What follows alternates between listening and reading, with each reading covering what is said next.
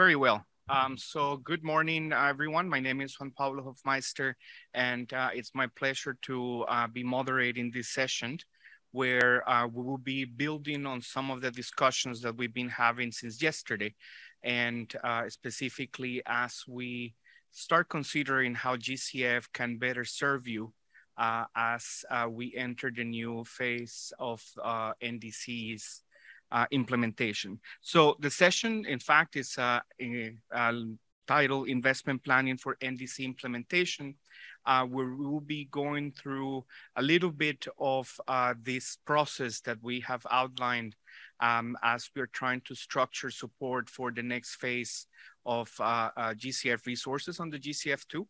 Um, and we will also be having a, a, some feedback and listening to the experience of countries and partners in this process of turning NDCs from uh, a document that gets submitted to the UNFCCC into actual um, uh, bankable action.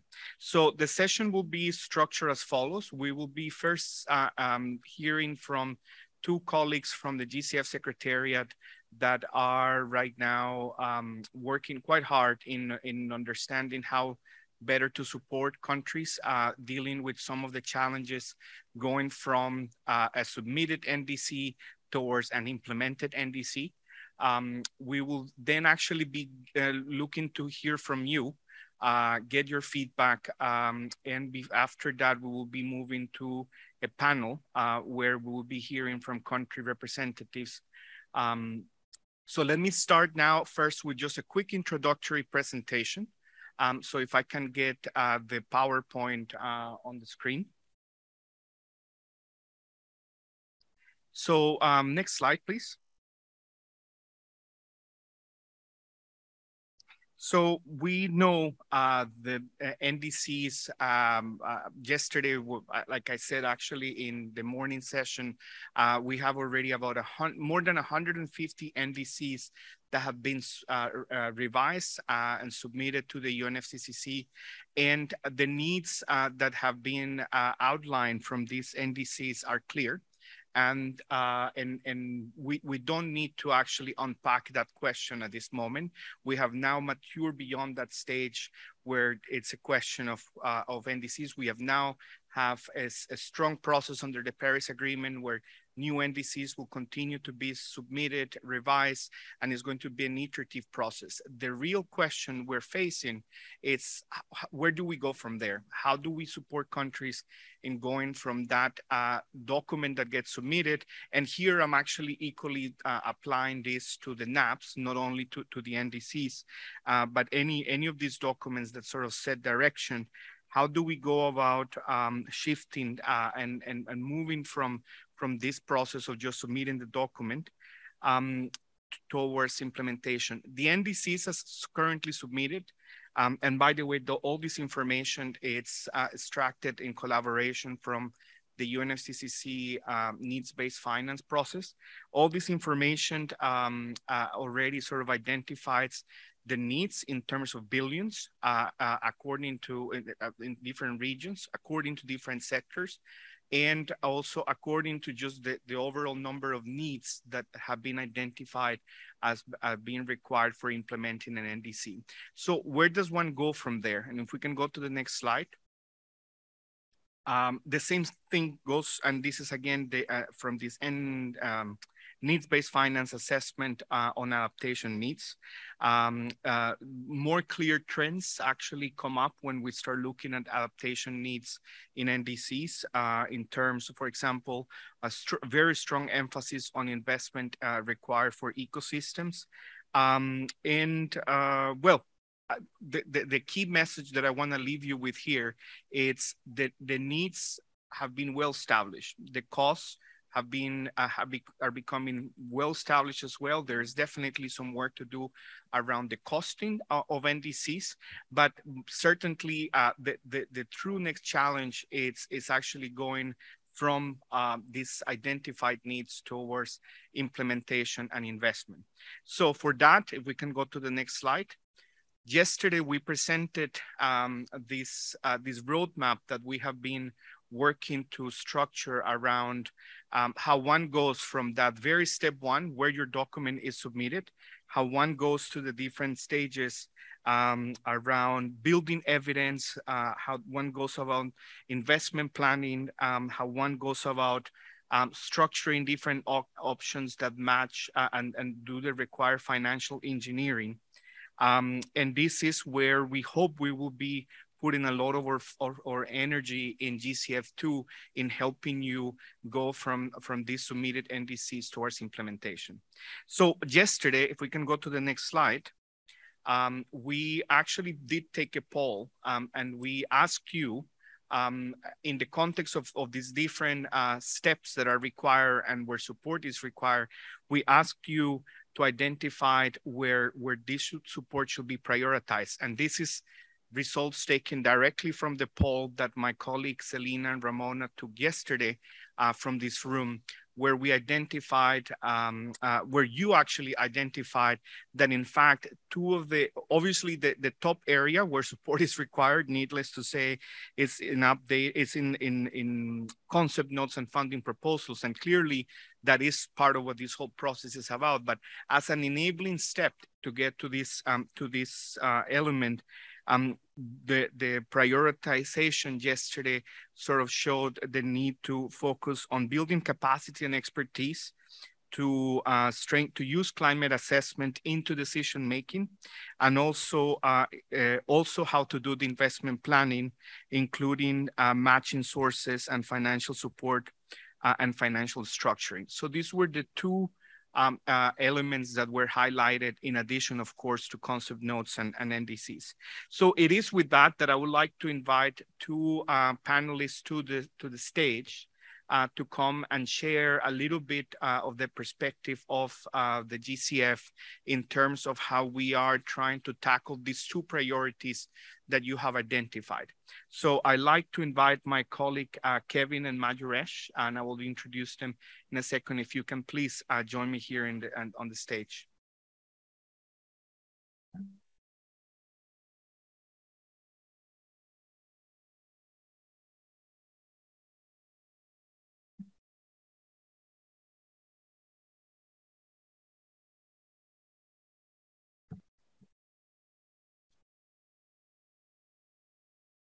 Thank you very much. So first, um, Kevin, who is our climate science lead. Um, Kevin, I'd like to um, reflecting on, on these findings uh, from and these priorities that we heard yesterday. Um, the GCF has proposed a framework uh, for supporting NDC investment planning that makes emphasis on evidence-based approaches in multiple steps. Um, and yesterday, the participants identified this um, so what I'd like to um, hear your, your views is precisely on what the GCF is doing and what the, the, the possible steps are for supporting capacity, expertise, the development of tools, etc., to use climate assessments in decision making. Um, uh, the floor is yours. Uh, whatever you, okay. You can sit there, it's fine.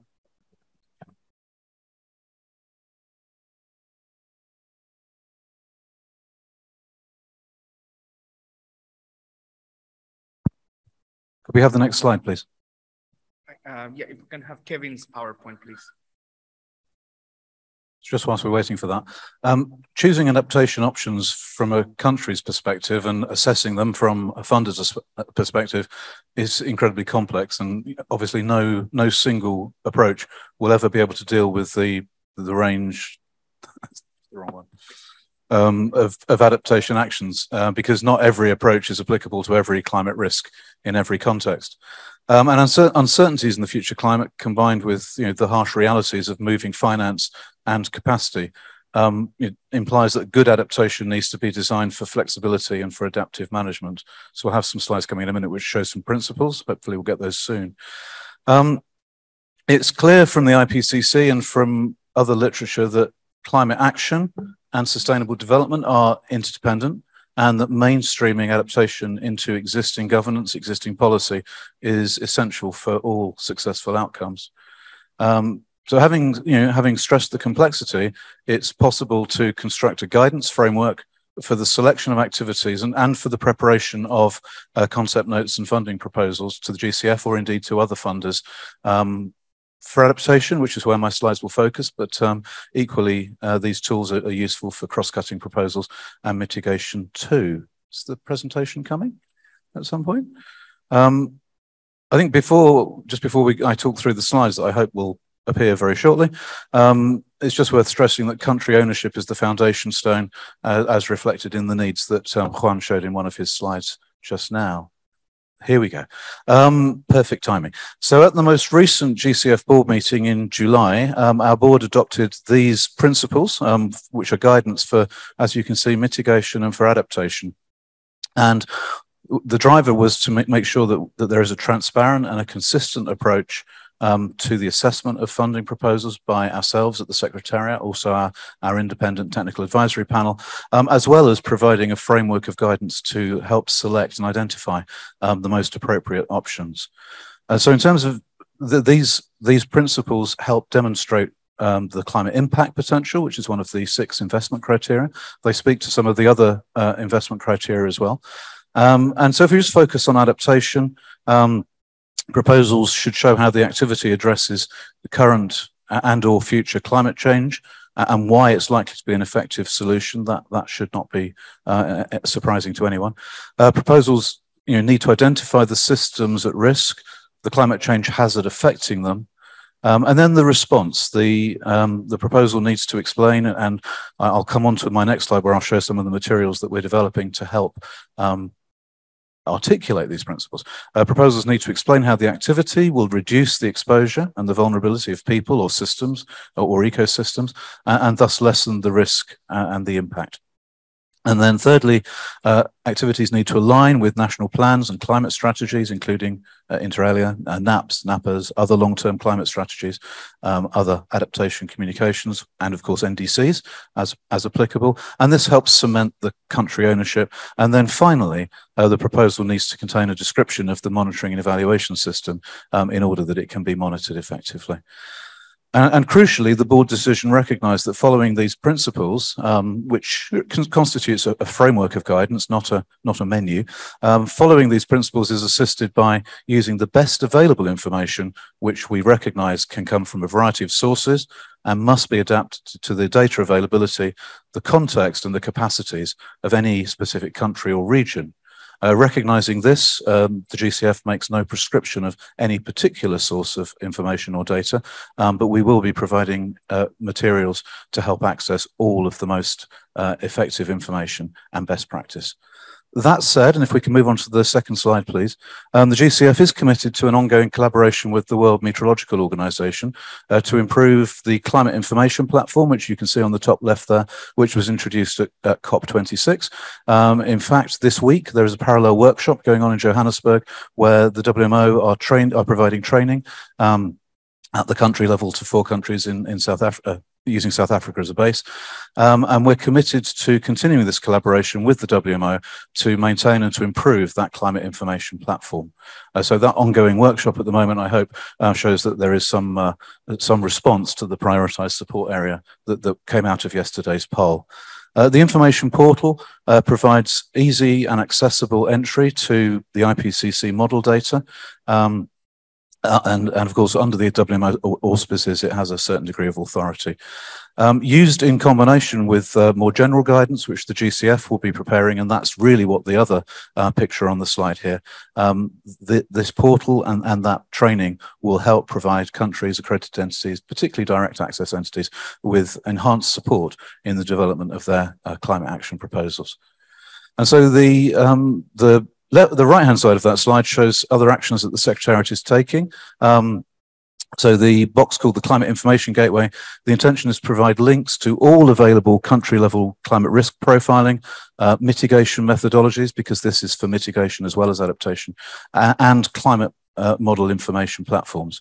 Um, the gateway is there to enable uh, us to share solutions uh, to overcome problems, to share information through frequently asked questions, and then the blue box is um, a, a, climate information expert advisory group, which is being convened for the first time in Geneva this uh, later this month in September. And this international expert forum uh, will provide oversight of all of the climate information that all of our stakeholders need. And the idea behind the forum is to make sure that we have complementarity, avoidance of duplication in terms of our efforts with the other funders, um, identifying any gaps in climate information which require to be filled, and then providing a more effective and timely response in filling those gaps. And the, the overall objective, very simply, is to provide countries and accredited entities with clear and consistent guidance, uh, which allows you to develop the highest quality demonstration of climate impact, uh, leading to proposals um, that accelerate access to GCF financing and financing from other climate funds. Thanks very much. Thank you, uh, Kevin. Um, and we will be going uh, in a few minutes looking for, for your questions, uh, looking to be, have this be more, more of a dialogue. Uh, before um, actually opening the floor for questions, I'd like to invite my colleague, Majuresh, uh, from the GCF Private Sector Facility um, he's the financial institutions manager. And, and I'd like to invite you um, uh, with a similar question, basically, but actually to hear from you on uh, the experience and the, the, perspective on how we can work with countries uh, to do this matching and, and financial structuring and engineering, uh, realizing, of course, that these are complex terms and uh, certainly uh, your um, guidance will, will be most helpful. Majuresh? Thanks, Con. And, and thanks for raising this question at, an appropriate time that, you know, once the countries have identified the NDCs and have identified the investments that they would like to see, the next step is, you know, how do we finance those? How do we arrange finance for that? Uh, to, to answer to your question, maybe I will, uh, you know, I'll take liberty and try to break it up into three parts. One is, you know, let me share, you know, what's, uh, what's financial structuring uh, and why is it required in the context of GCF. Uh, second, maybe I can talk about uh, what could be the approaches to financial engineering uh, and structuring in context of GCF. And third is, you know, again, what GCF is doing and how GCF can help countries in uh, going forward on this in this regard. Now, financial structuring, you know, as we typically see in context of GCF is in, in a layman language, it means that having understood that this is the project cost, this is the funding requirement, how do we uh, match with suitable sources and suitable financial instruments. So how do we decide whether we provide a grant financing for this, whether we provide a senior loan, subordinated loan, a junior equity, or a reimbursable instrument, you know, and that kind of uh, suite of uh, financial products that GCF has. Uh, second, why it is required, the single most important purpose of financial structuring in context of GCF projects is to make the projects viable. So we are not here for increasing the returns for GCF, but the returns in context of climate impact. So, so viability of the project has to be driven by the steps that we take under the financial structuring. Now, let me move to what could be the approach to uh, financial structuring, you know, and, and, and with having full, will with having full regard to the macroeconomic situation in the country, uh, there could be, you know, qualitative and quantitative factors one can consider in deciding the optimal mix of financial structure for project or for a program also. And factors one can consider could be like, you know, whether something starting with something as simple as is the project having a reflow potential. So, so, you know, is there a reflow potential coming up from the project activities? Is it going to generate revenue by, or, or is it going to, you know, maybe have material cost savings for the participants and for the countries? Second is, okay, having understood there is a reflow potential or not, if there is a reflow potential, is there some amount of certainty of the timing of the reflow or reflows or these reflows are dependent on substantial mm, uh, market factors which cannot be predicted at this stage also. Uh, third thing is, you know, the liquidity in the domestic market. And, and I will talk about each of this in and, and how we use it in deciding the uh, instrument. And the fourth thing is risk perception and appetite of market participants, including the co-investors. Now, taking a very simple example of, you know, if you're talking about activity of uh, capacity building, and that may not have direct reflows, though it may in long run help the countries also. Of course, that would warrant a grant financing. Uh, whereas consider a project where, you know, there is a project sponsor from private sector and he is willing to put so here, uh, some amount of equity financing, but the domestic banks are not willing to take that kind of exposure. And that's where GCF can step in by providing debt financing. There could be situation where domestic banks are willing to provide some amount of credit exposure, but they need some amount of cushioning from GCF. And that cushioning can come by way of GCF taking a junior tranche de-risking position for vis-a-vis the senior lenders also. Uh, there are investments done by GCF into uh, uh, into equity pool, and this is where we see that this these investments require patient seed capital. So the reflows are going to be there, but the timing of reflow is uncertain because the reflows will materialize by way of exiting the investment through selling to a big investor or uh, you know market rewarding it in some other form or also. And in that situation, for the patient capital, the best financial instrument could be equity instrument. To crowd in other investors, GCF does take a junior equity position, provided you know there is material co-financing that gets uh, generated. And of course, you know there could be situations where there is a willingness to uh, reflow, re repay to GCF, but at the same time, the participants do not have ability, the, the project uh, companies do not have ability to assume debt. In that situation, the best thing could be a reimbursable grant to be taken. Uh, one product that I didn't talk about, de-risking product, is the guarantee product. And this is where you know the liquidity in the domestic market comes into the picture. Think of a situation that you know a, a domestic market has got good amount of liquidity in local currency. The banks are willing to provide that fund, but they have they see that in our normal portfolio, we cannot take certain amount of risk because this is something really innovative that we are doing.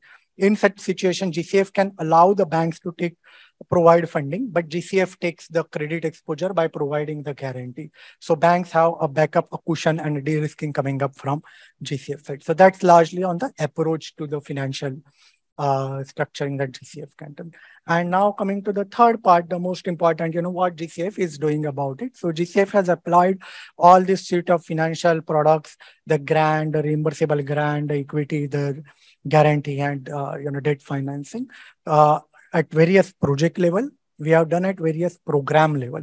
And as all of you know that, you know, we have a portfolio of 200 approved projects, uh, roughly 11 billion of financing. And with that portfolio and with that amount of financing, there has to be some learning that has to come up. So the learning from that is to accelerate the pace of climate finance and to accelerate the deepening of the impact at the same time, uh, you know, enhancing the country ownership. One way we can, you know, uh, go further is by uh, creating co-investment platform. And by co-investment platform, what we mean is, uh, you know, this this this kind of investments, this kind of structures require good amount of flexibility to uh, add new result areas, new partners going forward. So a program can have result areas, different financial instruments, but it still has got a broader framework uh, fixed at the at, at, at, at the initiation of the program.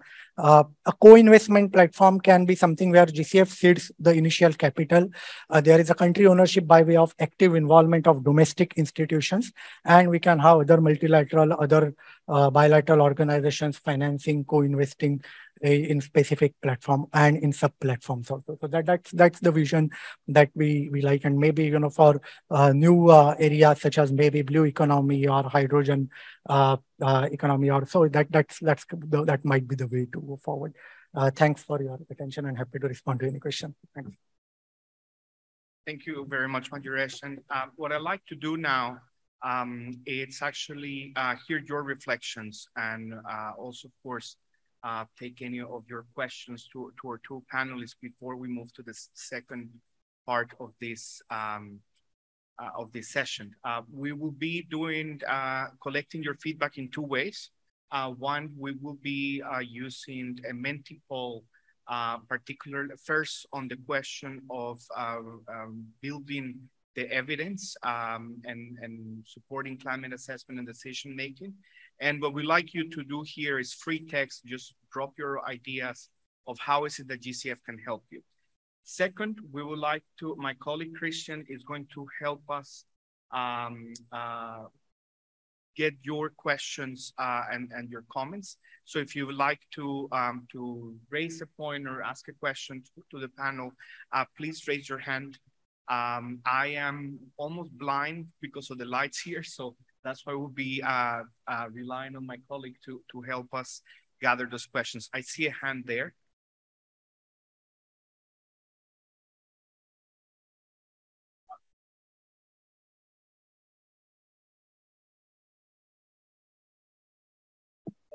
Yeah, um, thank you very much. Good morning, colleagues. Um, and thank you for this presentation. I, I sort of have a comment but of reflection, but also perhaps there's a question in there. Um, when we talk about implementing our NDCs, obviously they are programs or projects behind that in our investment plans. What we have to understand really well is this term called climate rationale. And within that term, there are tools and the requirement for climate data and information is becoming more and more acute. Um, the, the last board decision around climate data and tools in relation to climate rationale was an interesting one because for a lot of countries, uh, they don't actually even figure in the resolution of GCMs. And I can actually point out from a colleague, a Caribbean project that had the scope of 15 GCMs within their uh, program, and they were asked by ITAP to basically validate those. So that's one example. The other example is that when we look at a country like Fiji, which is much, much larger than ourselves in the Cook Islands, is that uh, on a GCM, it doesn't even figure as one pixel.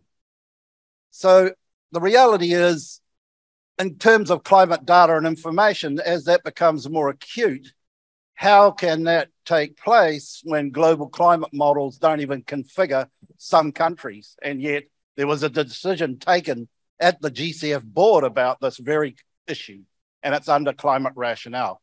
So we have all argued that there is not enough data, but now, in actual fact, there is a decision made on data, and it actually is not fit for purpose for a whole number of countries. Thank you very much.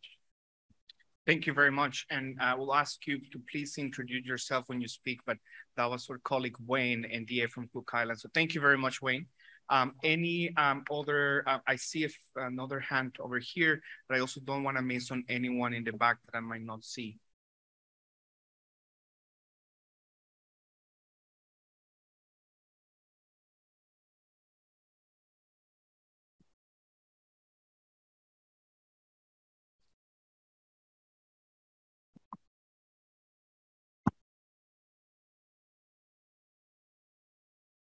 And maybe we will get the microphone ready. If we can get a third question uh, line up so that uh, we, we go uh, roll to the third question. Thank you. Um, before I come back to, um, to our panelists. Yeah, this one works. Thank you. Um, my name is Maya Tskhvaradze from Georgia, uh, representing the NDA. And at some point, my question would follow the previous question um, in regarding the climate data and climate information. Um, you mentioned the, during the first presentation, we have heard about the um, regional workshops on the climate uh, information and then supporting some. Sorry, Maya, can I ask you to get the mic? Okay, is it Thank okay you. now? Thanks. Great, okay. Thanks. Uh, so regarding the climate information workshop that you have mentioned that is in parallel to our meeting, it's happening uh, in South Africa. Could you be elaborate a bit more what is the target of the workshop, whether it is uh, for supporting countries like, uh, for example, small island states, we have heard that there is no climate data at all. Uh, so is it uh, some kind of platform being created that will support the um, the, the data formation or it's just a platform for uh, training or supporting countries somehow to to uh, develop or to create this data or just to implement or to write in the proposals. But if the data doesn't exist, probably it will be the problem. Uh, and whether you consider to have this type of regional events in other regions as well, or currently it's targeting the uh, African countries only. Thank you. Thanks. And do we have any more requests? Otherwise, I'll come to, all right. So, uh, Kevin, I believe both questions to you, uh, please. Sure, I'm happy to take both of those. Is that Wayne that's over there? Has he gone? it's not, not waiting for the answer. anyway, um, so the, the term climate rationale has, um, I, I, think, frustrated many for a long time. Uh, and one of the things that the recent board decision deliberated was whether we should try and define climate rationale. Uh, in the end, we decided not to do that, and that, that's probably wise because you, you, ask two scientists to define something, um, you can spend 10 years disagreeing with one another. Um, what the decision did do very clearly, though, uh, and embedded within those principles that I spoke about, is it made it very clear that um, proposals for climate action coming to the GCF or indeed other uh, climate funders have to connect to climate change.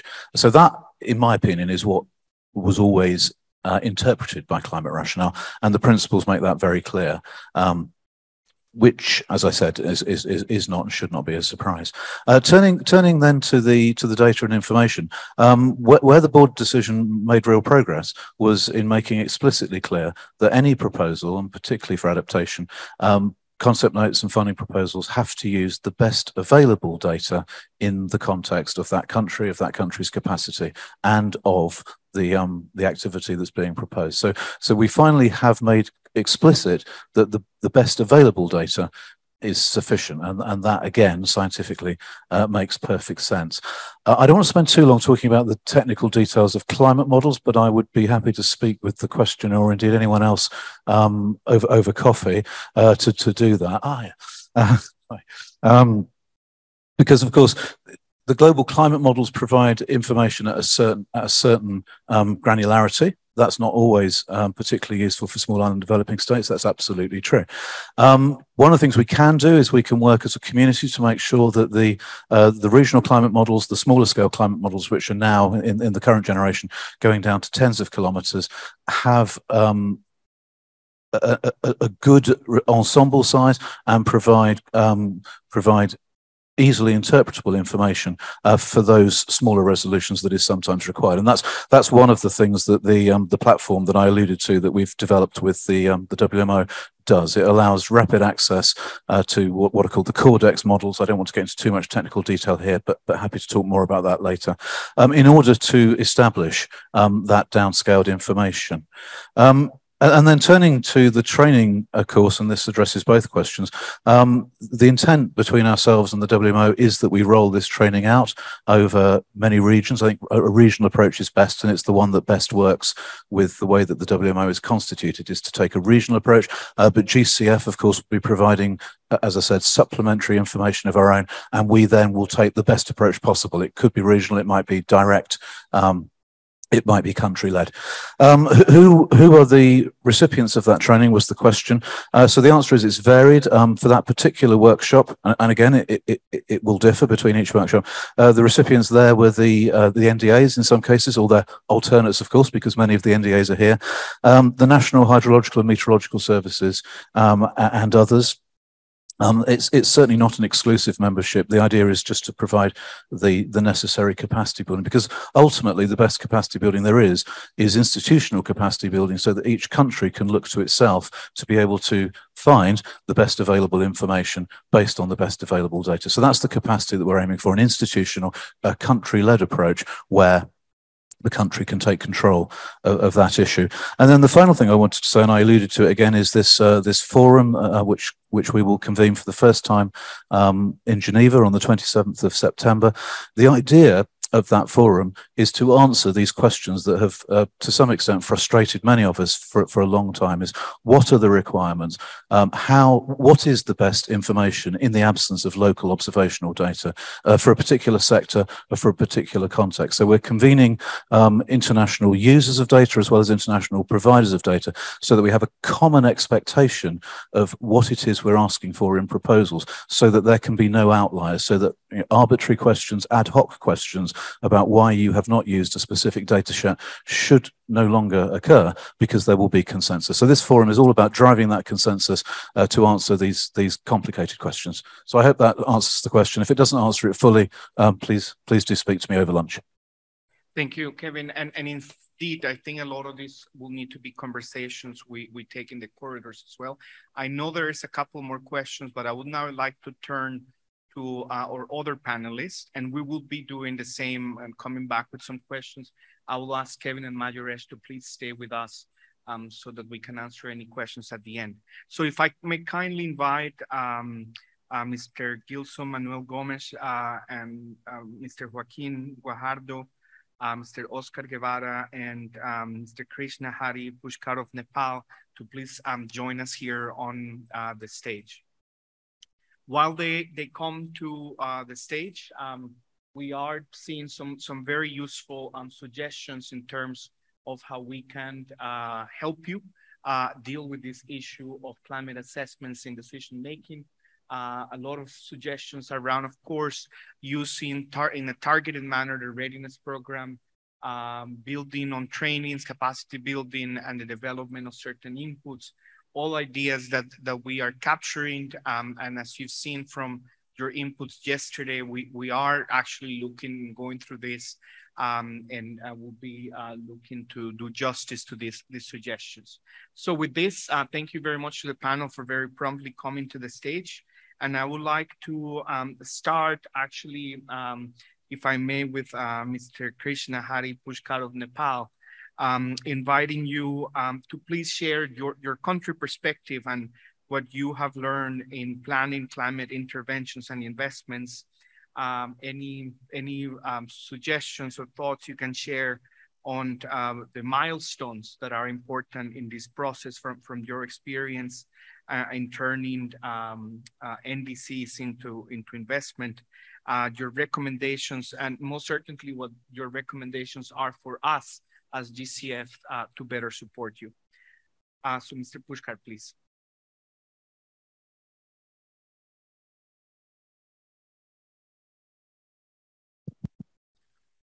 Uh, good morning, colleagues and friends. Uh, Nepal strongly support world community commitment to keep temperature rise below 1.5 degrees Celsius. The government of Nepal hereby presents its NDC under the Paris Agreement. Our long-term strategy to achieve net zero greenhouse gas emission by 2050 and for that, our coverage would be energy, industrial process and product use, agriculture, forestry, and other land use and waste. By 2030, expand clean energy greenhouse from approximately 400 megawatt to 50,000 megawatt. Out of this, 5,000 megawatt is an un unconditional target. Sales of electric vehicles in 2025 will be 25% of all private passenger vehicles. To make this happen, government of Nepal has recently announced to build 1200 megawatt Budhi Gandaki hydropower project, West Seti of 750 megawatt capacity and so on. By 2030, we have uh, considered several targets and also new sales of e-vehicles would cover 90% of all private sectors, private vehicles.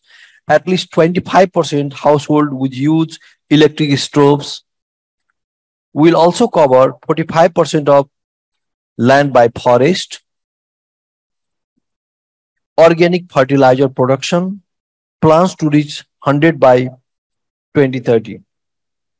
And some of the thematic areas are agriculture and food security, forest, biodiversity, watershed conservation, water resources and energy, rural and urban settlement, industry, transport and, transport and physical infrastructure, tourism, natural and cultural heritage, health, drinking water and sanitation, disaster risk reduction, and management.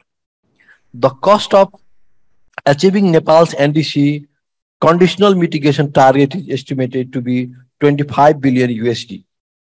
The cost of un unconditional target is estimated to be 3.4 billion USD. To achieve conditional targets, Nepal expects financial, technological, and capacity building support from the global funds as GCF, GEF, Adaptation Fund, LDC Fund, and bilateral and multilateral development funds provided by the partners. So in the case of Nepal, we have several issues and huge commitment about NDC, and we are also working to conclude our long-term strategy at earliest. As many of you know that the one of the critical point for Nepal is melting the snow and some other issues in the Himalayan region that has put 1.5 billion people reach out from the water. So we plan 45 billion USD from the public and private sector by 2030, 2030 and unconditional 3.2 billion by ourselves. So especially in the case of GSP, we really need technological support, resource, and some other some other support since the project planning, development, and investment, we need a special guidance from the GCF. Thank you. I stop here.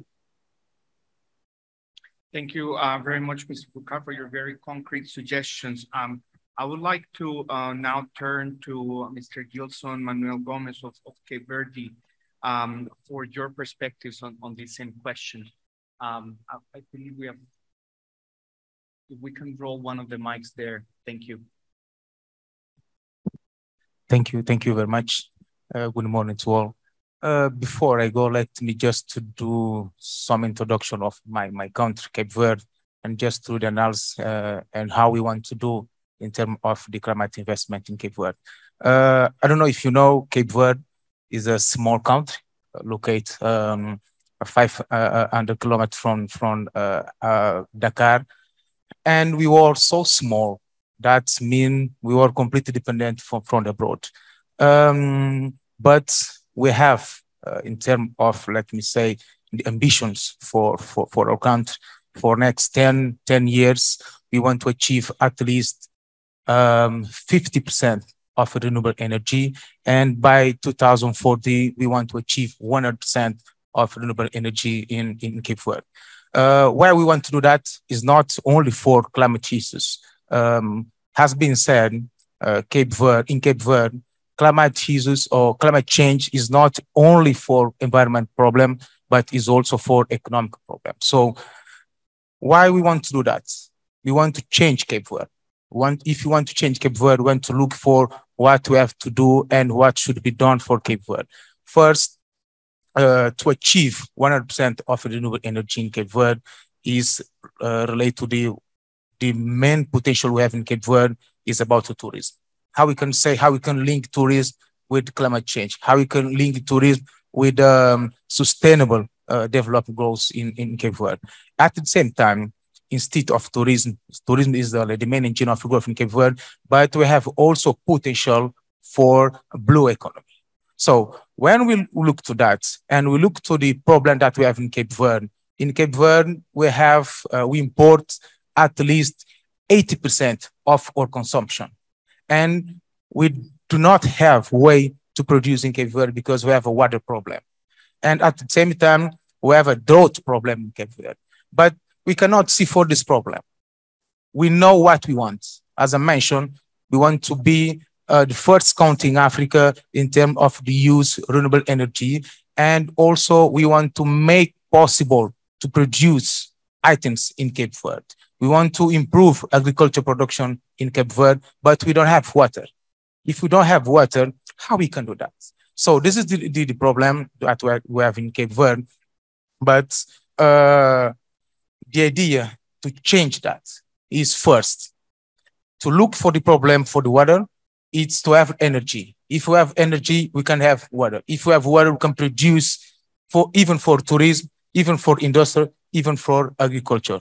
But at the same time, when we look to that, we can say where we are and where we want to go for the next next uh, period. So this is the reason that we first let me thank to the to GCF we approved last year three uh, readiness, one for the county program that can show us what we, have, we want to do for next next period in terms of the, the climate investment in Cape Verde.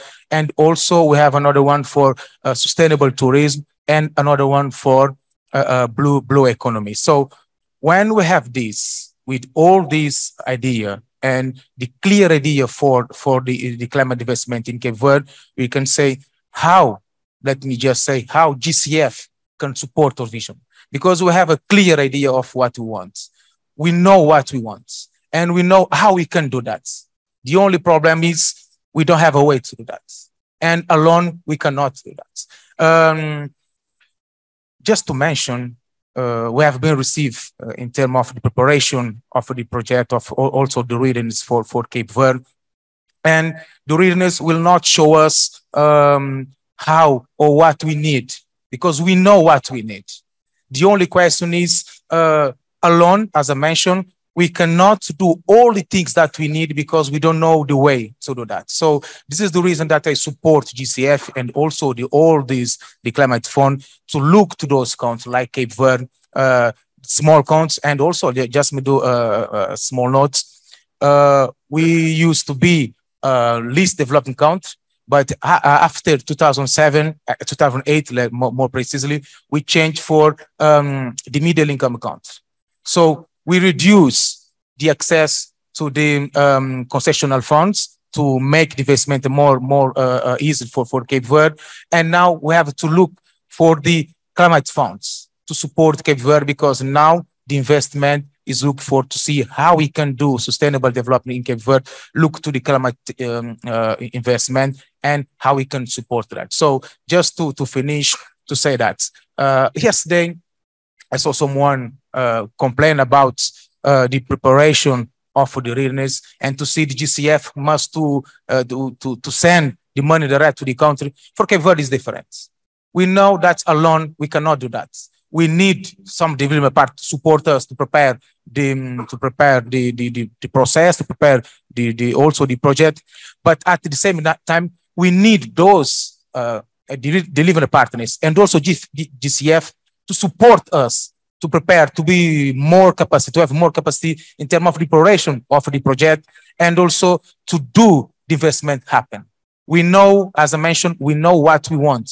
We know where we want to be. For Cape Verde, precisely by 2014, we want to achieve 100% of renewable energy, but it's not only for renewable energy. We want to support the investment in agriculture, in water, uh, water uh, availability, and also for sustainable tourism and blue economy. But we need your support to achieve that, and you need your support to be more development. So thank you. Thank you very, very much, uh, Mr. Gomez Pina. I certainly can speak for the rest of my colleagues at the GCF that this is precisely the type of partnership uh, where we want to accompany you. We um, certainly, uh, and as I said at the beginning of my presentation, um, we all know where the needs are. Um, we know what a lot of people want to do. How do we get there? How do we do the proper investment planning? I hope we can uh, set a time when we're here um, and trying to connect with colleagues like my colleague Mayuresh, who has the expertise in, in thinking how we begin to structure some of these ideas. Um, we'll, uh, I'd like to now turn uh, to Mr. Uh, Joaquin Guajardo of uh, the Ministry of Finance of Chile uh, to share your perspectives as well um, on, on this process. Muchas gracias. Eh, muy buenos días a todos.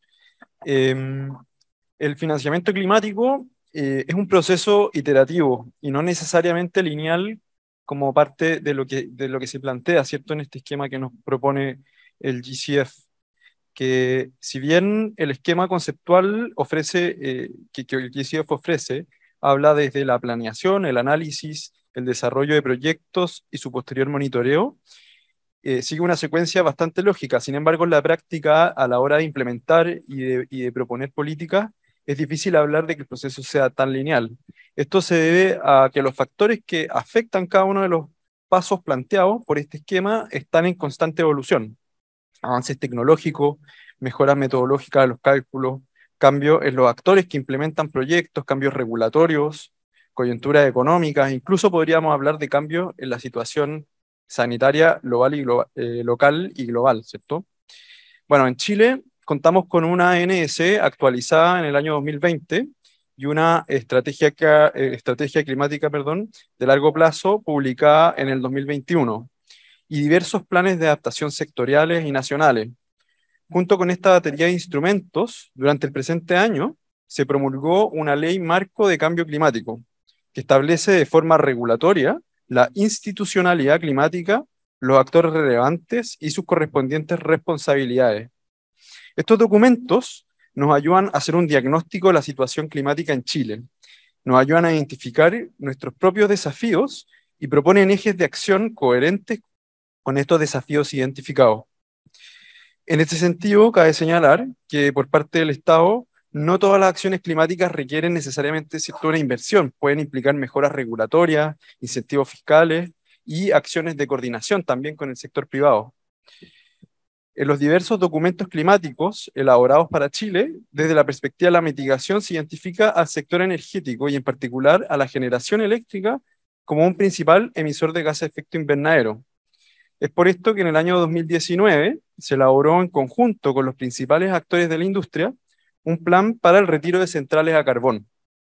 Actualmente este plan ha avanzado más rápido incluso de lo que se había planteado originalmente. De las ocho centrales propuestas para cerrar el año 2024, actualmente se contempla el cierre de 18 centrales al año 2025. Así también las empresas generadoras están jugando un rol fundamental en el desarrollo de alternativas de generación limpia, como es el caso del hidrógeno verde. Este ejemplo se los digo simplemente para ilustrar, ¿cierto? Que existe una estrategia con un diagnóstico bien informado y basado, en ciencia, y, la acción que, de, este, de este plan y esta estrategia se, se, se, desprende es una acción que es iterativa, que es un proceso que va y vuelve, digamos. De manera complementaria al plan anteriormente mencionado, en el año 2020, Chile desarrolló una estrategia para el desarrollo y comercialización del hidrógeno verde. Esta estrategia, que fue elaborada en forma coordinada con el sector privado, establece una hoja de ruta para transformar a Chile en una potencia mundial en este mercado compañías que anteriormente estaban generando electricidad a carbón están en proceso de descarbonización, incluso paralelamente participando activamente de este plan de desarrollo de hidrógeno verde.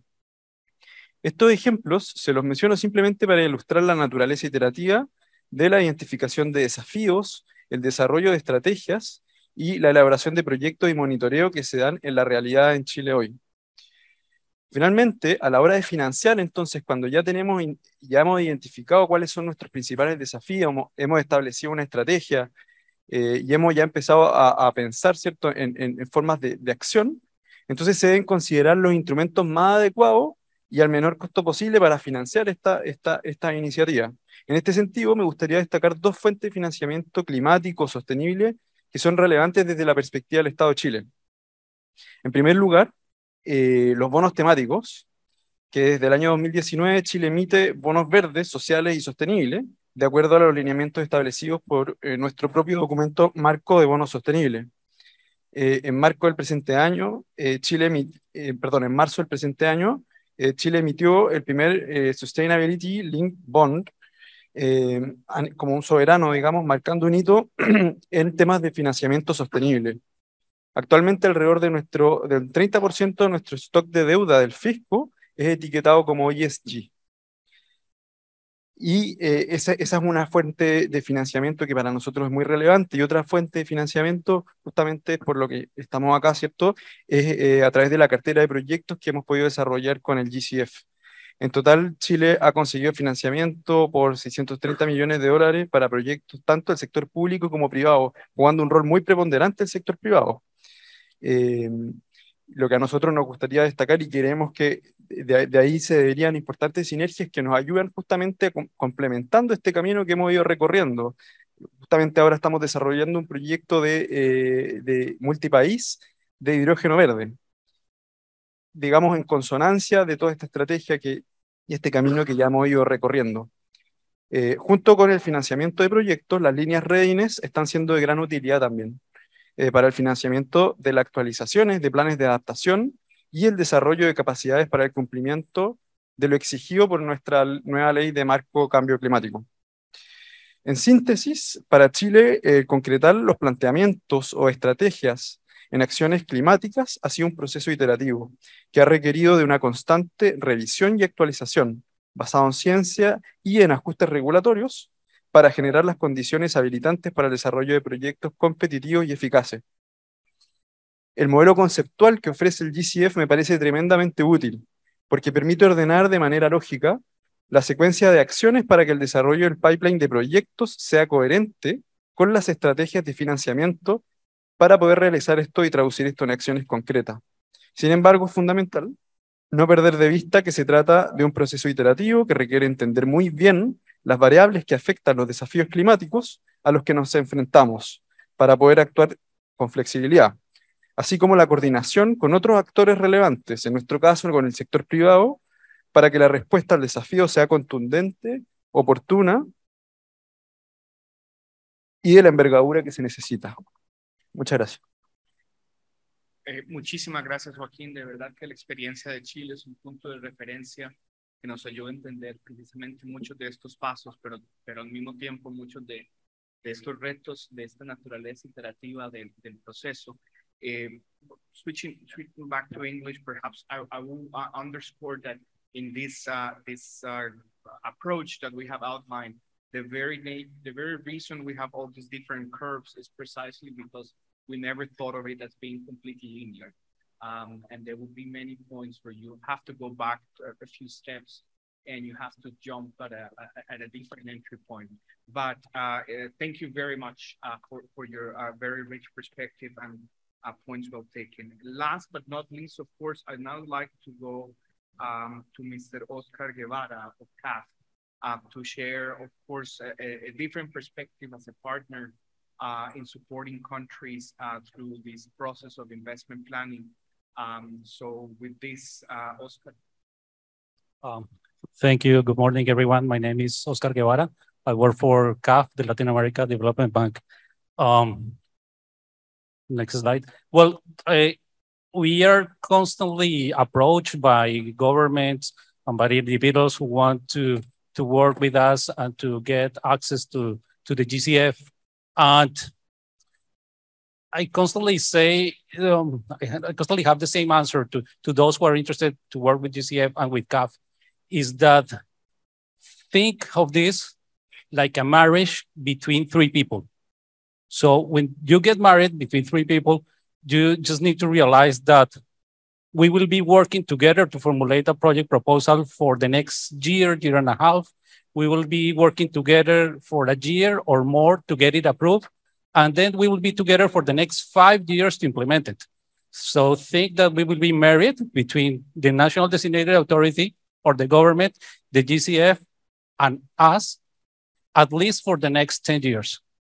So this is why it's important to carefully select who do you marry with.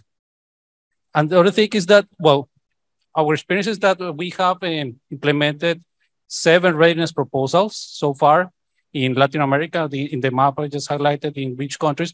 And right now we have two uh, readiness proposals. Um, based on the experience of, of implementing the, these portfolio readiness proposals, but also on developing and implementing uh, projects with the GCF, I just have a four key messages that um, are illustrated in the next slide. Um, probably the first one is the role of the national designated authority. Um, it is common in Latin America and maybe in other parts of the world that sometimes the, the NDA is located in the Ministry of Environment. In other countries, it's in the Ministry of Finance, in others, in the Ministry of Planning, and sometimes it's in the Ministry of Foreign Affairs. And this has a significant impact on the country ownership because because sometimes uh, GCF projects and also especially the readiness projects are are are not exactly understood um, as a project developed for by the country and for the country, and sometimes it's seen that it's being owned by the NDA. And somehow the, the NDA has this special role of actually try to guarantee the ownership of the country of the project. So, so this is important. And um, again, considering the, the differences between the, the, the, countries in Latin America, one of the things that we have learned is about how the critical role that the NDA has. Um, the second thing is, is about the, the scope of the projects. Um, the first readiness that we implemented before 2020, 2021 are actually very limited. The impact that we achieve from these projects, I will say that is very limited, but this is related with another important lesson is that working with GCF requires to be constantly evolving the way we work. It's not only that there are changes in templates, in policies, in the way we report, etc., that is changing all the time, but it's actually what countries and accredited entities understand what the GCF is good for. So at the beginning, somehow the, yeah, the, the, the, the initiatives and the readiness that we put together were very limited and we're targeting very specific objectives. But right now we see that the, the concept of how we can work together is evolving and is shifting into more transformational initiatives.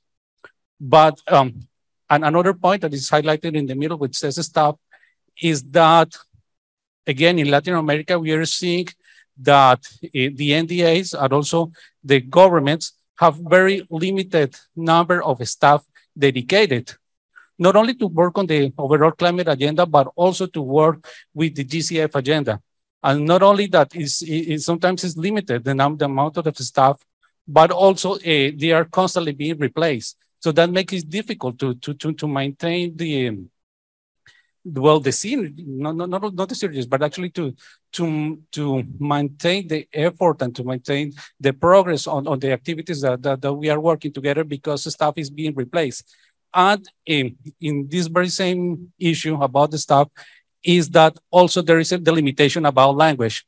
Uh, this is uh, something that we also discussed in, in, a, in a parallel session yesterday afternoon, but somehow the, the issue that we have to work in English, actually that all documents provided to the GCF for uh, all the different initiatives, whether if it is a readiness or it's a project proposal, needs all to be uh, done in English, actually limited, limits the possibility to work with uh, local expertise, with the local officers that, uh, well, in, in Latin America mostly speak in Spanish or Portuguese. And somehow uh, make us rely a lot on consultants that are bilingual. So that, that's one thing that we, we have learned is, is that there is a, still a, a strong barrier on, on language.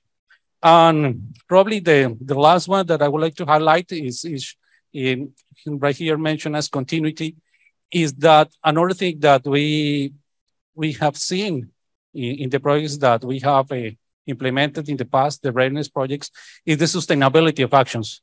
Um, again, without but in Latin America, the reality is that the vast majority of the climate agenda relies on international cooperation from different funds, not only from GCF, but from multiple donor agencies, etc.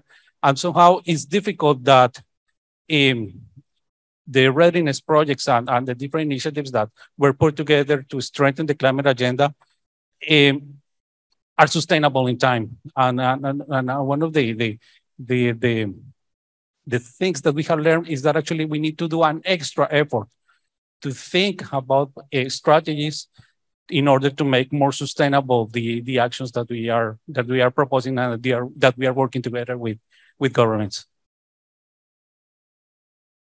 Uh, thank you very much, uh, Oscar. Those are uh, very uh, useful uh, lessons learned, and I know probably uh, learning some of those lessons has come with some pain. Uh, so appreciate very much the, the continuous support of CAF as a partner. Um, we are now um, going to go back to you uh, to uh, first, uh, we will be using again Menti to pick up some of your specific suggestions about how the GCF can help you in the investment planning process uh, including around some of these ideas of financial support and financial structuring. Um, but uh, we have received uh, some uh, questions also on Whova, and we'll be asking uh, when we go back to the panel, Mayuresh, uh, to, to speak to those two questions that were um, asked there. And I would now like to open the floor um, for your questions and your reflections in this topic. Uh, so please, again, I'm, I'm quite blinded here and my colleague Christian is helping me. Um, There's one question here. Thank you. Uh, this is uh, Sohail Malik uh, with, uh, with DAE in Pakistan NRSP. Um, uh, I had a question from the earlier panelists also, but they were deferred. Basically, um, uh, we are struggling, as rightly said, on the climate science of it um, and the data issues. Uh, but uh, as it is the soul of the whole thing, this climate rationale, so uh, DAEs would like to know that uh, how does GCF plan to um, evaluate, verify, and validate the climate rational aspect of the projects uh, that are being prepared? That is the first question. And the second question from CAF in the second session. Excellent uh, presentation, sir, and really crisp experiences. Um, you have worked with different different government setups. Um, and you have shown challenges with environment and with Ministry of Finance, economy. I mean, it, it creates a big challenge that uh, across, I mean, there's no cross learning if you have a mix of all these different NDAs. And then on NDAs, um, we need to really um, get into um, more of a different role because readiness is more related to private sector and public sector or uh, the players right at the executing level. Uh, so would like to get your reflection on uh, what would be a NDA uh, better placement uh, within the government, and also um, know, what could be the uh, uh, I mean, um, how can be decentralized from NDA? NDA can NDA is the housekeeper of country ownership. So it should should it remain at an information level, or should it really delve into a lot of uh, bureaucratic layers. I'll stop here. Thank you. Uh, thank you very much, Sohail. Um, any other questions or reflections before I go back to the panel? Okay. Give it, give it a minute.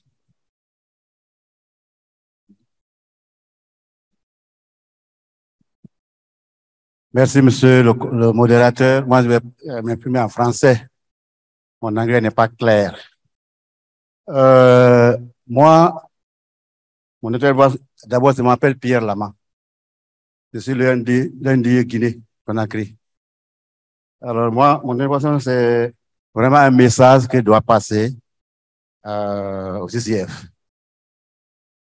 Je reviens sur euh, l'intervention du dernier intervenant sur la question du rôle et de fonctionnement des, des, sur le terrain. Euh,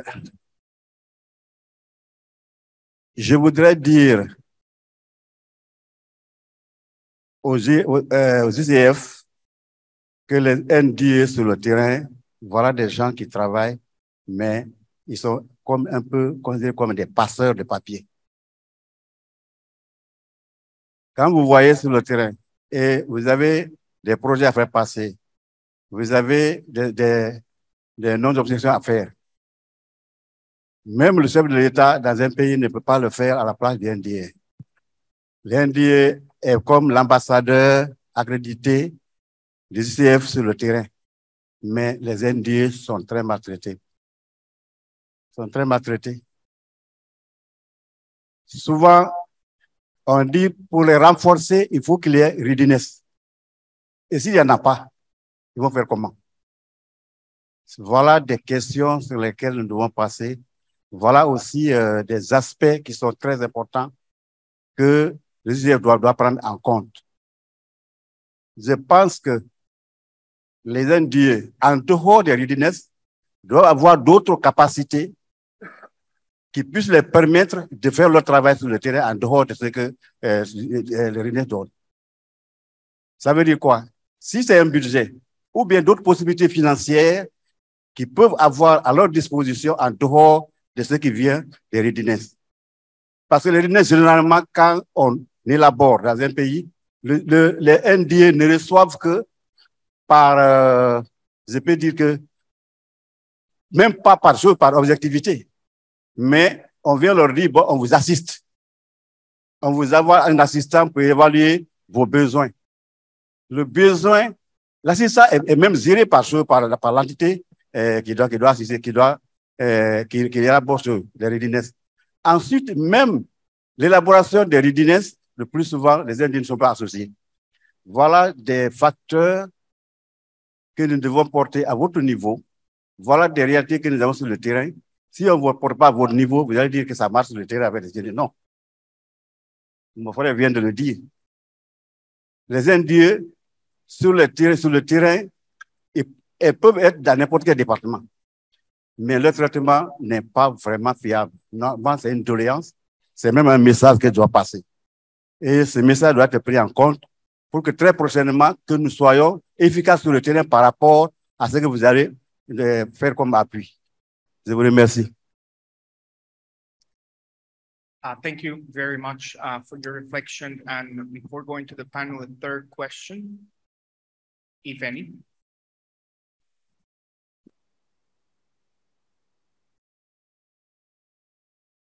Yes. Uh, hi, I'm Zana Vokopola from uh, Urban Research Institute Albania, representing a delivery partner for Albania. Well, everybody mentioned here the overloaded work the NDA do, does.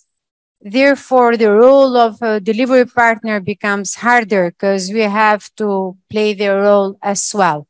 And under these circumstances, does GCF ever thought of a training program, maybe not exactly, but meeting, uh, sharing experiences, manuals that help delivery partners cope well with the government while respecting and following all the GCF procedures and politics. Thank you.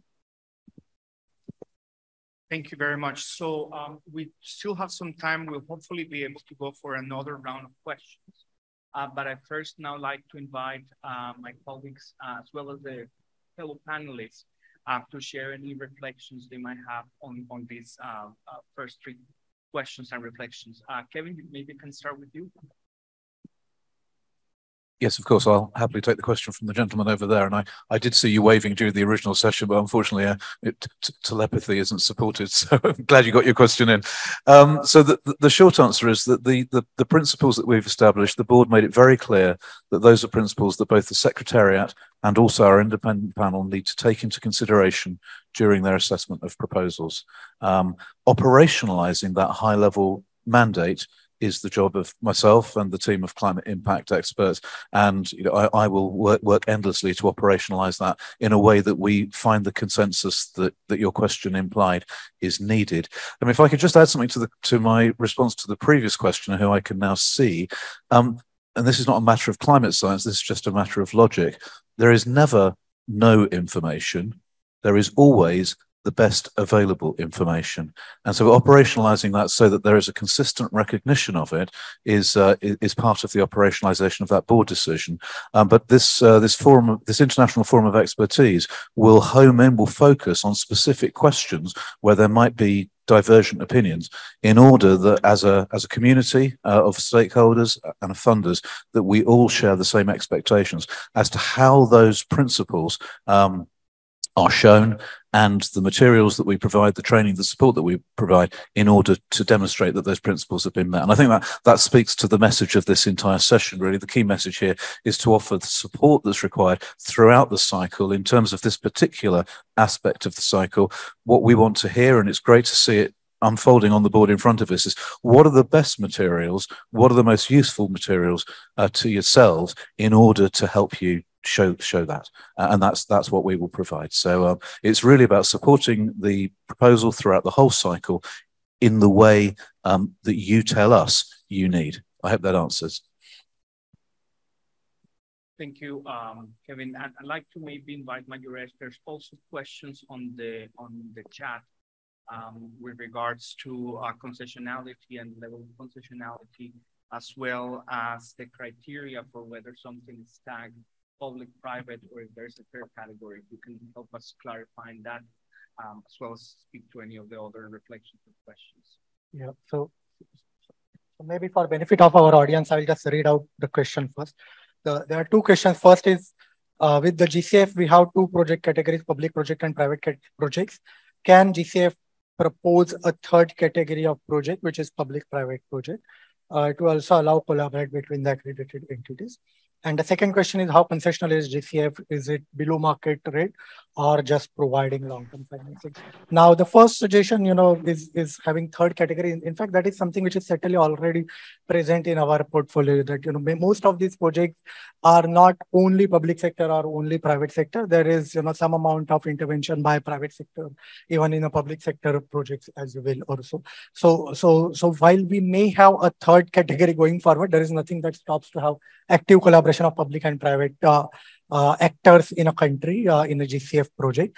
Uh, one way maybe, you know, the co-investment platform is something that will facilitate uh, sovereign and private entities in a country to collaborate on, on, on the investment uh, raising side as well as on the investment implementation side also.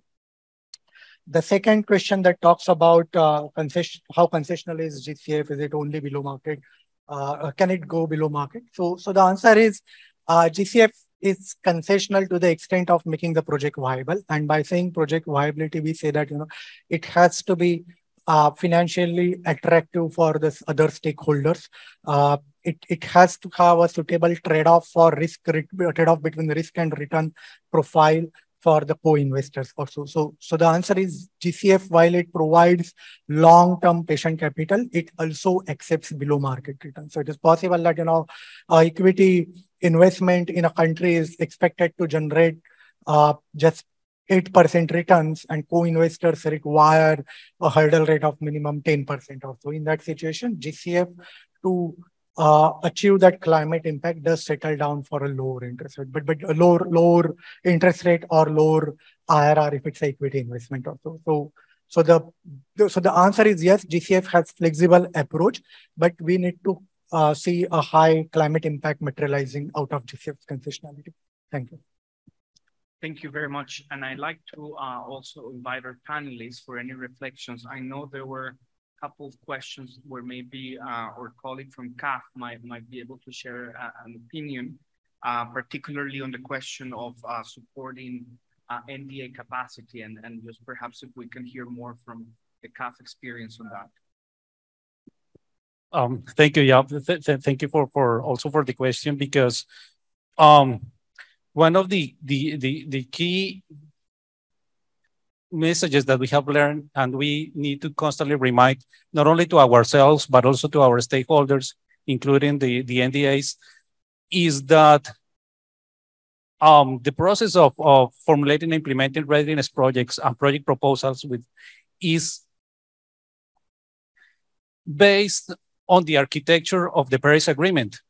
And the, the fact that the Paris Agreement is su successful, but in addition to that, is inspirational, is because it is a country-driven process. So every country is putting together its own commitments to achieve a global goal. And how the, the, the, the architecture to access GCF finance is largely replicating that, that vision and that concept of the Paris Agreement. So basically, this is a process that it's country owned. But and there's a, a big but on, on, on my answer, is that also it is important to take into account national circumstances and country ownership. And these two questions are always present in, in, in every template that we need to fill in order to, to develop a project proposal for readiness or for regular funding. But we should not underestimate the importance of, of, the, of those questions is that because the process of accessing climate finance is country owned, just like the overall climate agenda to achieve the goals of the Paris Agreement is country owned. We need to be very honest about the national circumstances and the possibilities to actually to overcome the, the, the, when, when these circumstances are difficult, but also how to effectively foster processes that actually empower and actually achieve that vision of country ownership. So, eh, but again, they, at, at, at the end, an important reminder and, and an important message that we always try to transmit is that what we are doing with the GCF is actually our contribution to achieve the vision and the goals on the Paris Agreement that largely depends on country ownership. Thank you very much. Any other or panelists, uh, any further reflections? Otherwise, um, I will go back for maybe two more questions. Mm, okay. Yes, please, please. Sorry, I couldn't see you. Thank you. Just just to comment to say um, there's a question to say that uh, usually the NDAs they don't have capacity, they don't have a team allocated to work with um, with a GCF. I think this perspective should be more comprehensive. Uh, look to Cape Verde. Let me talk, talk talk by myself. I am National Director for Planning, and I'm also NDA for GCF. I'm not only one work with GCF. I have a I have a team. There's a team that work with me, and all this team should be focused on the strategy. As I mentioned in my intervention, um, we have goals. We know what we want, and if we know what we want, we should allocate our team or capacity to achieve that. Uh, in National Directorate of Planning, we work also with other partners, as a World Bank, African Development Bank, and so on. So for each one, we have one, uh, let me say, focal point, but more than focal point, we have a team that work with this focal point. So for this, we have also to think about for GCF and also for NDA. In Cape Verde, uh, instead of that, in NDA, we create a team uh, uh, composed by all the ministries work with uh, uh, climate change. For example, agriculture ministry, um, uh, environment ministry, energy ministry, minister of commerce, and also minister of finance. So that means this team has to think about how we can achieve these goals that we think for for Cape Verde. So I think if you want, we have to allocate. If you want to do something, you have to allocate the resource to do that. So this is the challenge we have. But as I mentioned before, the question is, we want to do, we need to do, but sometimes there's a lack of capacity. We need to willing capacity and also to support those to prepare the, let me say, to prepare the, the, the project and also to see uh, how we can achieve what, what you want. So just to finish is to say, we have a team the government has a team. NDA is not from a simple uh, uh, uh entity, it's a from government. If you are for government, you have to see who can support you and how you can work together to achieve those goals. So thank you very much. Thank you very much. Uh, a very important point, of course, on leveraging the resources around you. Um, I don't see any requests from the, the, panel at this moment. I'd like to see if there are any further questions. Uh, Christian, if you can help me. Yes. Uh, thank you, uh, colleagues, and um, big congratulations to all the panel uh, speakers. A very uh, informative discussion. My name is Ruel Yamuna. I'm the Special Envoy for Climate uh, in my country, Papua New Guinea, and also the NDA for the Green Climate Fund. Um, I, I, have a comment and a question. I guess my first comment is uh, uh, I agree with uh, the points mentioned with um, some of the, the distinguished panelists. Um, NDAs in particular need dedicated support. Um, given all the good uh, interventions um, that GCF is doing in terms of helping advance investment planning and, and financial support, um, there is a need to ensure that there um, there's dedicated support given to NDAs. I think one comment yesterday was the three hundred thousand um, dollars uh, that's earmarked for NDA support. Perhaps that can be increased to uh, assist boost their capacity and to help them uh, perform their um, their function. Obviously, given their additional um, uh, responsibilities back at home, and this is for me speaking from experience. Um, so that's just a, a quick comment. Um, my question, I guess, goes to um, any of the GCF colleagues uh, on stage uh, with regard to the, the country program. Um, the the issue that I, I see or the concern that I see is a disconnect between some of the priorities in the country program and the, the board position on some of these issues. For example, um, with adaptation issues, um, we have given regional consultations that have taken place in the uh, past years, so there's been a, a concern from communities that there's a need for dedicated support to be given to uh, displaced communities uh, or climate-induced migration. As we all know, this is a, a bit of a sensitive topic, uh, but the issues keeps on recurring. Uh, and so we've captured that in, in, the, in the country program. Uh, my question is, what is the GCF board position in terms of giving support to um, communities uh, who are requesting support for the relocation, resettlement um, from, from one area to another?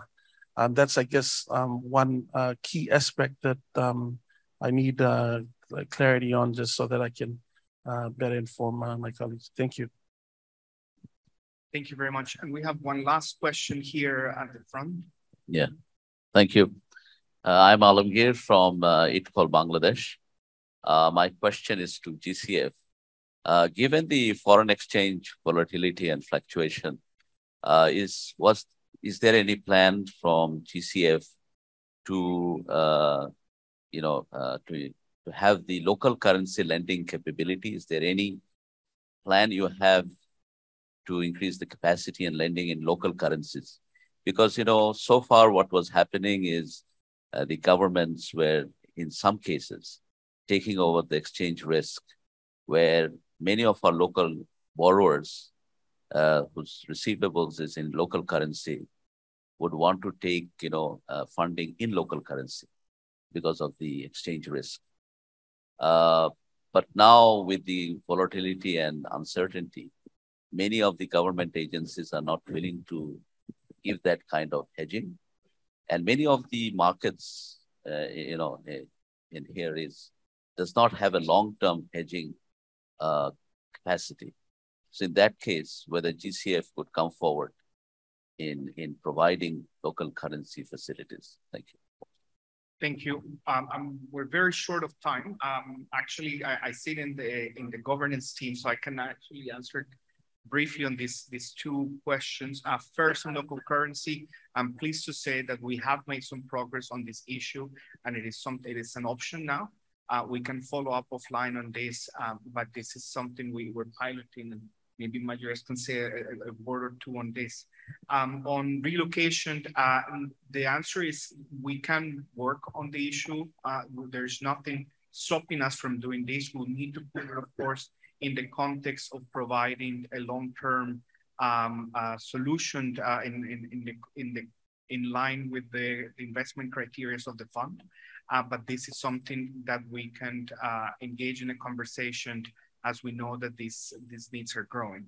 Um, I'd like to go to the panelists, invite them for just 30 seconds conclusions uh, and any comments they, they may wish to, uh, to put forward uh, before we conclude. Maybe starting um, on, if we can maybe start on this side, Kevin, uh, anything you want to add um, and just uh, go down the, the panel.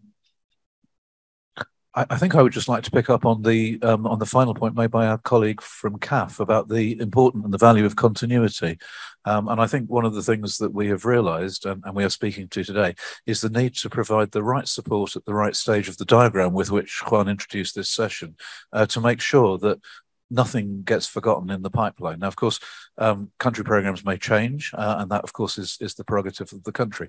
Um, but as as projects move from issues to concepts to concept notes, providing the right support at the right place in the pipeline, just to reinforce what, my, what I, our friend from CAF said, uh, to make sure that continuity is there is, is something that I think uh, will, will greatly enhance uh, the quality and the flow of projects. Thanks. Are You, Rich? thanks to our uh, guests and, and you know bringing out this perspective and I think you know some of these are certainly uh, learning lessons for us, and some of these are like you know certainly replicable uh, for other countries as well. So, so thanks. I, I don't have anything to add. Thanks. Thank you. Uh, Joaquín, anything you'd like to conclude? Sí, eh, nada, simplemente me gustaría destacar el hecho de que eh, el GCF tiene el potencial de ser un socio estratégico para el fortalecimiento de la institucionalidad climática en cada uno de los países y en parte eso también es responsabilidad de nosotros como eh, autoridad nacional designada poder aprovecharlo. Eh, y poder de alguna manera, ¿cierto?, plasmar en el programa país, que es la principal herramienta que se tiene, esta, estas visiones que, que, que, se vienen complementando desde la NDC, desde la estrategia climática a largo plazo y, y la institucionalidad, en ese sentido, la estrategia que cada, uno, que cada país eh, tenga establecida, ¿cierto? Para armar una visión y proyectos que estén alineados con esto. Creo que eh, en eso el GCF puede ser un, un, socio estratégico y así que nada, muchas gracias por... Muchas gracias. Um, Mr. Krishna.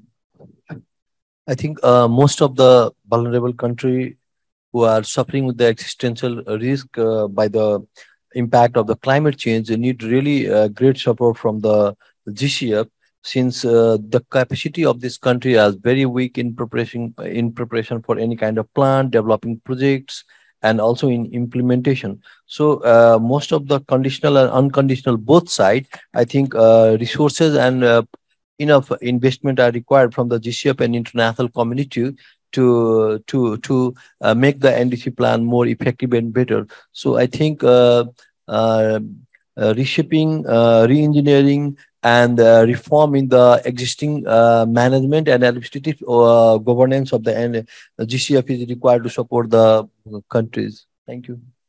Thank you very much. Um, thank you. No, my last comment is that I think that especially for the future, the GCF offers an opportunity to be more ambitious on, on the kind of projects and readiness proposals that we will put together. And there are um, opportunities, and I think the, the overall framework that the GCF put together for, for investing and supporting countries allows the opportunity for, for, for the countries to, to, to again, put together ideas that um, are risky, but are important. So the ambition component, I think, is essential. And, and uh, I hope to see that in the future, there will be projects that are transformative, that are ambitious, and that actually are in, in line with, with, with the vision that each country has in, in its own NDC commitments.